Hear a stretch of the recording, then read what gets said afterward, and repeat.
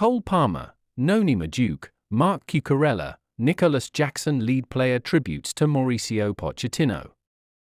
It was far from smooth sailing in what appears to have been deemed an unsatisfactory season from Mauricio Pochettino, but the one thing the head coach succeeded in without a shadow of a doubt was creating a positive team atmosphere and getting this random collection of young talent to function as an actual team. Some of the biggest themes of the season, such as maturity, selflessness, focus, and determination, were among the primary aspects in which this team showed some real progress, progress that may not be easily measured on the pitch or in the table, but could be seen in the way players approached various situations and responded to the multitude of setbacks throughout the campaign.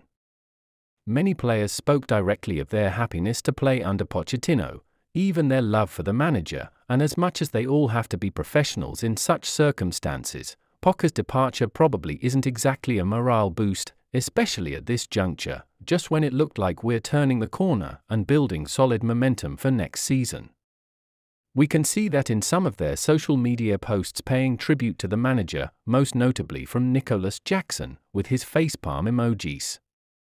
Jackson also reshared a post by Pochettino from November, which talked about building something special at Chelsea. Alas! Love you, coach. Wish we could stay together more, another face palm. But may God continue to bless you and your family. Thanks for the advices and support, you're a true lion and fighter, wish you all the best, heart. Jackson was a frequent topic of discussion and target for public commentary by the head coach, calling him out for some of wild behavior on the pitch, even.